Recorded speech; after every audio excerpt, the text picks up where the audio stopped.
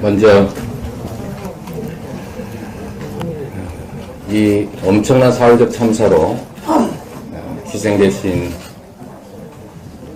사망자가 아닌 희생자 명복을 빕니다. 저희가 이 사건이 발생한 이후에 명확한 방침으로 정부의 수습 노력에 최대한 협조하겠다고 말씀드렸습니다. 많은 시간이 지나가고 있습니다. 그런데 정부 어느 누구도 이 사건에 대해서 책임이 있다. 국민의 생명을 지켜주지 못해서 죄송하다는 말을 하지 않습니다. 오로지 형사 책임만 따지고 있습니다. 형사 책임은 형사와 검사가 하는 것입니다. 정치인은 국민의 삶에 대해서 무한 책임을 지는 것입니다. 그래서 그 책임을 규명하는 것을 저희가 보류하고 정부의 노력에 최선의 협조를 다 하겠다고 충분한 시간을 드리고 있음에도 불구하고 그 사이에 우리 정부 당국자들이 대통령부터 총리, 장관, 구청장, 시장에까지 하는 일이라고는 우리는 책임이 없다가 전부입니다. 앞으로 제도를 바꾸겠다. 제도 부족 때문에 생긴 사고가 아닙니다.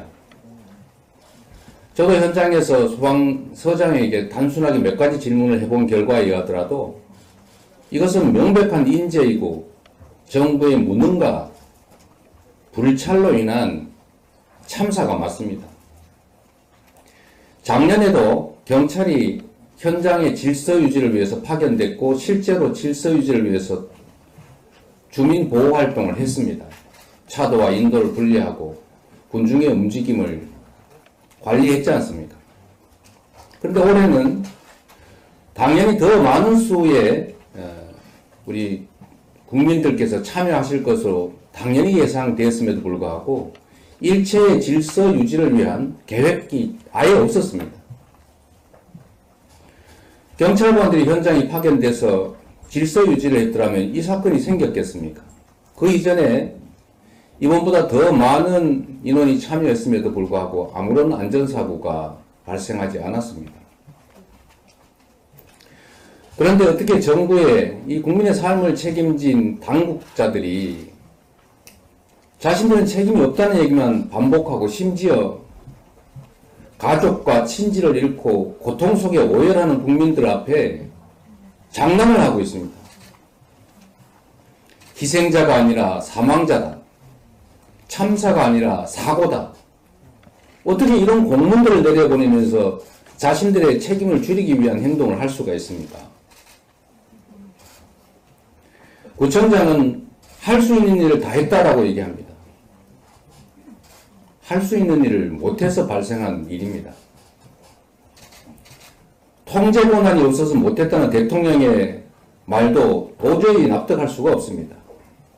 질서 유지는 경찰의 가장 1차적 책임입니다. 질서 유지를 하기 위해서 몰려드는 군중을 관리하기 위해서 안전사고를 방지하기 위해서 바로 경찰이 존재하는 것입니다. 그런데 경찰이 있어도 막을 수 없는 사고였을 것이다라는 얘기를 어떻게 그 억울한 참사 피해자 희생자들에게 할 수 있습니까? 지금부터 가장 중요한 일은 사태의 수습 당연히 해야 되지만 이에 대해서 왜 아무 이유 없이 천재지변도 아닌데 내 가족들이 친지들이 이웃들이 영문도 모른 채 죽어가야 했는지 그 원인을 규명해야 합니다. 당연히 책임 소재를 따져봐야 합니다. 그래야 다시는 이런 일이 재발하지 않기 때문입니다. 지금부터 이 사고가 왜 발생했는지, 피할 수 있는 사고였는지 철저히 규명해야 될 때가 됐습니다. 정치는 국민의 삶을 무한 책임지는 것이고 민생이 그 중심에 있습니다. 그런데 국민의 생명을 지키는 것이 가장 큰 민생입니다. 오늘 우리가 국민의 삶을 챙기기 위해서 민생에 관한 의총을 열지만 당연히 필요한 일상적 민생 활동도 해야 합니다. 그리고 그거에 더해서 우리 국민들의 삶과 생명 안전을 지키기 위한 그리고 다시는 일이 이런 일이 재발하지 않게 하기 위한 노력도 철저하게 해 나가야겠다는 말씀을 드립니다. 고맙습니다.